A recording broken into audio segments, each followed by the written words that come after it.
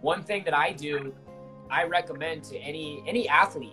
Honestly, this is this has been a trick that I use that has really, helped me with my confidence right before it's game time.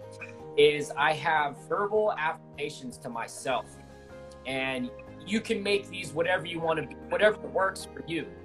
Uh, but just for an example, one thing that I say to myself over and over and over again is, I am a champion. And I will say this to myself out loud over and over and over again, minutes before I walk out. I'll have my gloves on, being ready to walk out to the audience. And I'm saying to myself, I am a champion. I am a champion.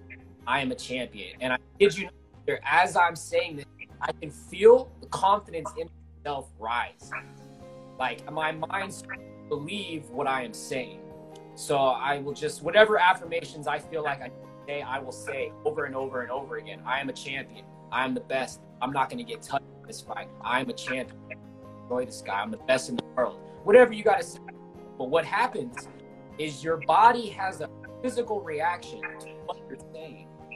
So when I'm saying this, I literally, I build my confidence up to a level. By the time I walk out, I feel unstoppable and uh, that's my personal routine. But I recommend those affirmations to any athlete, any any sport. Before you walk out, say it out loud. What happens when you you say it? Your own mind hears you say it over over and over and over again.